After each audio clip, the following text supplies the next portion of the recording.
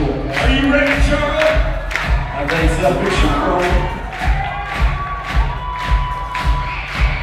so. Let's try this out.